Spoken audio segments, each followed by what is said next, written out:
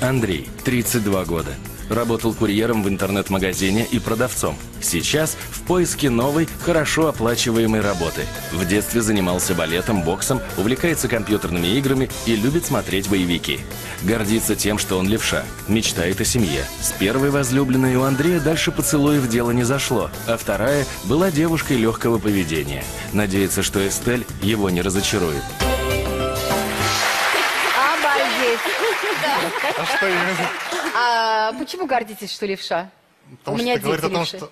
А, да. Говорит о том, что человек неординарный, что он э, творческий, что он как бы мыслит по-другому, чем правши. Вот Ну, вы себе там и домыслили. Рассказывайте, что это, вы девушка научили целоваться или она вас? Как это было? Да, она хотела целоваться сразу на первом свидании. Какая прелесть. Да. Интересно, где-то она видела, что пацанам нравилось целоваться. По-моему, наоборот. Ну, надо же себя преподнести как Вот я стояла, меня поцеловала. А я вот как-то не хотел целоваться, потому что это очень быстро было. Боже мой, Имеете обычно девочки кабенятся и говорят, на третий день поцелуй. Ну, я надеюсь, не, не- не дали пощечины, сказали, что еще что, на первом свидании. Под мостом. Да нет, такого не было. Я к ней хорошо относился. Правда, по- впоследствии, когда я ее ждал около подъезда и узнал, что у нее уже есть парень, я там накричал, не звони мне, что-то такое. А она, мне, а она вам сказала, да кто ты такой, я даже не целовалась с тобой. Ну да, да, да, да, правильно все Ой, говорит. Андрюш, вы дурак, ну это правда. Ну спасибо, я думал, я левша, я умный. Ну ладно, Андрюш, хорошо, но было и было. Сколько вам было лет-то? М, 22-21 примерно так. Самый целовальный возраст. Ну да, сейчас уже 32. Да знаю.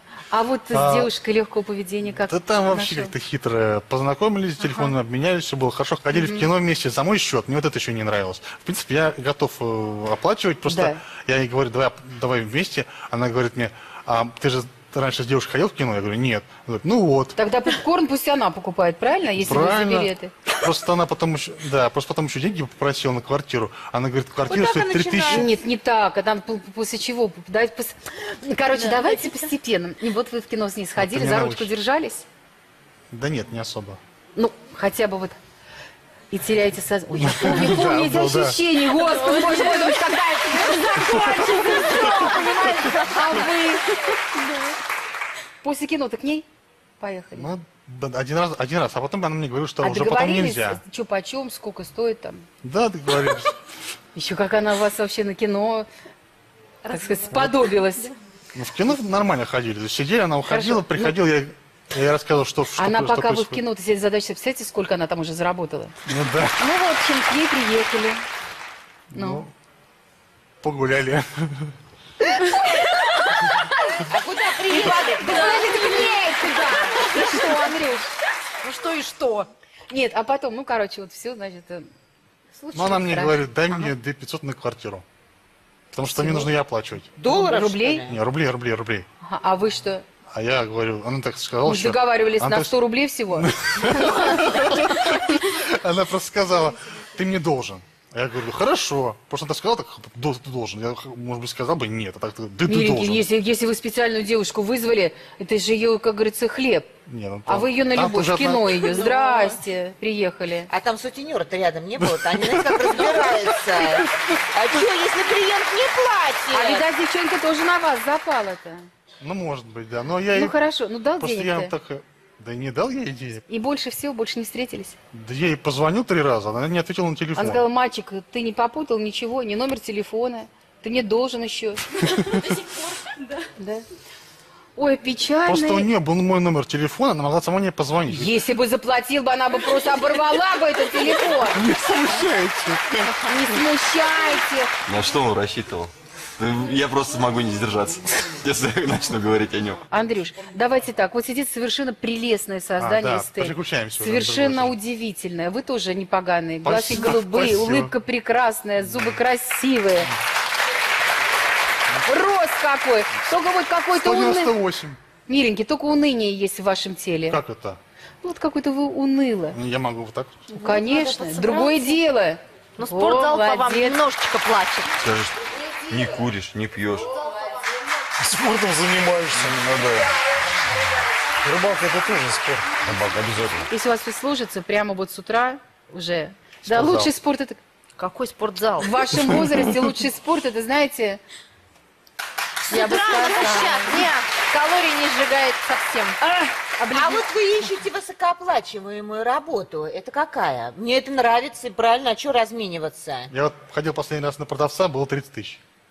Это высокооплачиваемая? Ну, Для меня да. Ага. а как чё давно не ищете взяли? работу? Ну вот, как он из этого магазина ушел, потом еще продавцом работал, месяца два. Потому Вы что москвич? Да. Коренной, Ой, какой молодец. А живете с кем? с родителями. А есть возможность с ними не жить? Нету. Комната есть своя? Нет, есть. То есть, если... У меня брат просто переехал в Подмосковье, а у меня программист. И у меня комната свободная, я один. Ну, клево. То есть, э, если что, будете там зажигать, мамка не ворвется. Конечно, маманька, Типа, что ты с ма- Вовой мама не делаешь, ему же больно. Нет, не будет. Хорошо, родители уже, наверное, не дождутся, когда вы. Конечно. Чего? Мой мальчик. А понравится, нет, Эстель, как вы думаете? Конечно, понравится. А если не понравится, будете Я думаю, такого варианта не своем? будет. Хорошо, а если Эстель в- предложит вам, скажет, Андрюш, ты уже большой, давай снимем квартиру, я тебя устрою к себе в банк, там какие 30 тысяч, там больше, там 35 тысяч. Пойдете, э, уйдете из дома? Конечно, уйду. Это не проблема. Ты смотри, это не сиди там, как этот позорится. А что делать-то, вот, если позорят? Стань, станцуй. Ты Скажите, сейчас даже нашел что место, ваши родители? чтобы курьером не бегать.